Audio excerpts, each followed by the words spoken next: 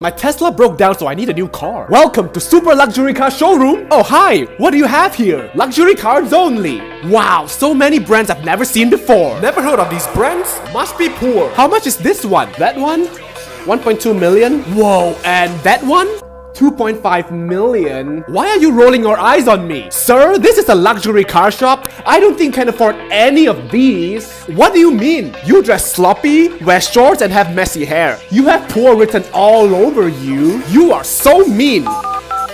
Hello? If you want to make a call, do it outside. It's okay, I'm done. I bought this showroom. You can't buy this showroom. You're poor. I just did. Here's the confirmation email. Sorry, sir. I didn't know you're rich. Does that even matter? So, uh, are you like my boss now? A minute ago, yes. But from now on, no.